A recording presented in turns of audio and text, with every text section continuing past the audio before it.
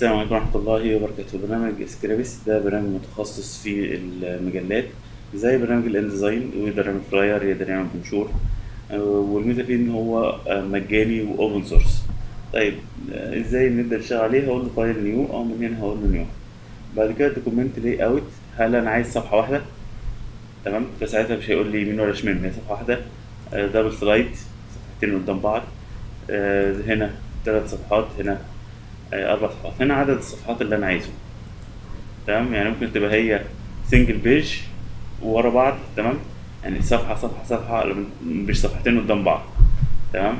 فتقدر تخلي مثلا single page ومع ذلك آه، تبقى مثلا سبع صفحات كلهم ورا بعض. ولذلك ساعتها هتفضل إن أنت تكتب الرقم صفحة في النص. double page هيبقى واحدة ناحيتي وواحدة ناحيتي.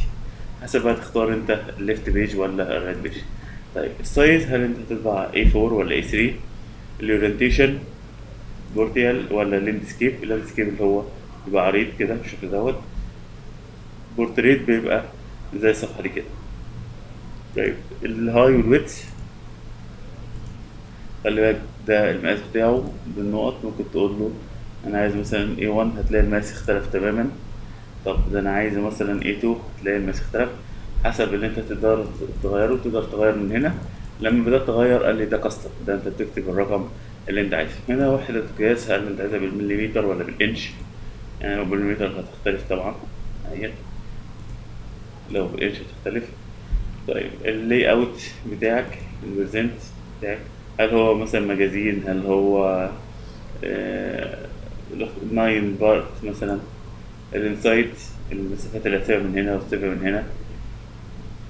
نقدر نقول له okay هيبدأ يعمل لي الصفحة بالشكل دوت تقدر تدوس control مع البكرة على أساس إيه؟ تغير فيه. طيب خلينا نبدأ من هنا. أقول له هنا ده جديد هنا open تفتح ملف يكون موجود قبل كده. خلي بالك إن هو دي الامتداد بتاعته.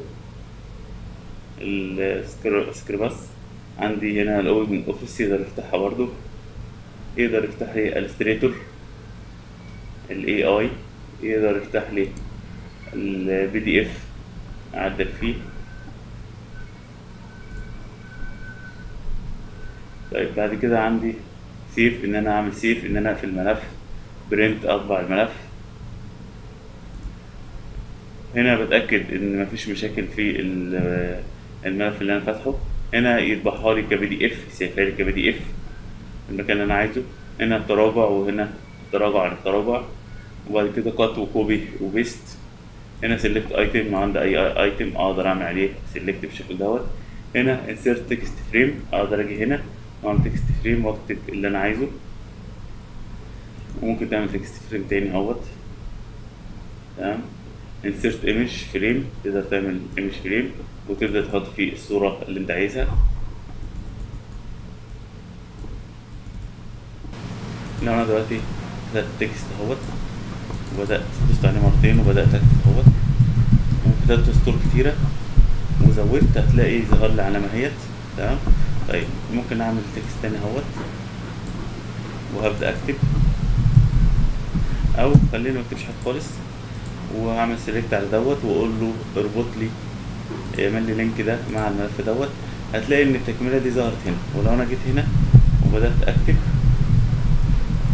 هتلاقي إن التكملة اللي أنا بكتبها بتظهر دوت. يعني ده تعتبر الصفحة الأولانية وده الصفحة الثانية اللي هيزيد عن هنا هيتكتب الناحية الثانية هناك.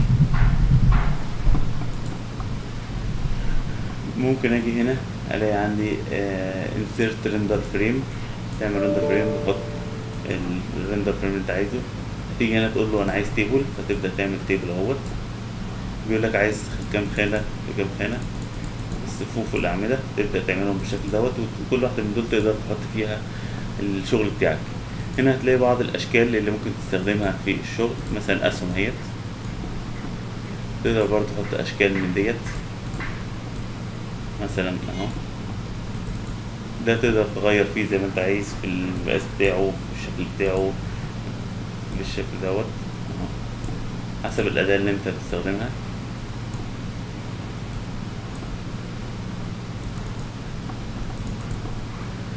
ممكن تختار ال- إن أنت تغير المقاس بتاعه والزوايا بتاعته زي ما أنت عايز.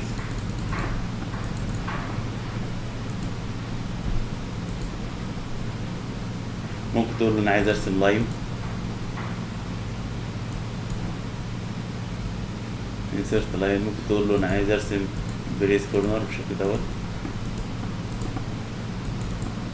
أو بيديك أشكال vector تقدر ترسم من خلالها. ممكن تقول له أنا عايز أرسم free hand ترسم شغل حر كده. أهوت. آه، ممكن تقول له أنا عايز أرسم آه، أو عايز أعمل rotate للعنصر أي عنصر تعمل عليه select تقدر تعمل له rotate زي ما أنت عايز بالشكل اللي أنت عايزه. ممكن تعمل zoom in و out زي ما أنت عايز تكبر وتصغر ممكن تقول له أنا عايز آه، آخد لون معين فتعمل select وتبدا تاخد اللون.